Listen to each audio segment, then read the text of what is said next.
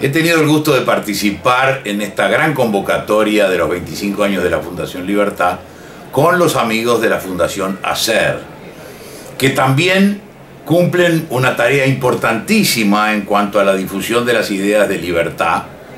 Pero además me gusta mucho el nombre, hacer, porque a veces pensar, imaginar y planear es lo más fácil de la vida, es el qué. Pero el cómo es el construir, el hacer.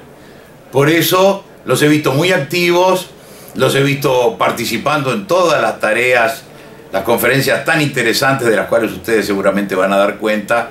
Hemos escuchado aquí desde Mario Vargas Llosa hacia arriba y hacia el costado gente de toda América en una conmemoración y en una celebración de la libertad.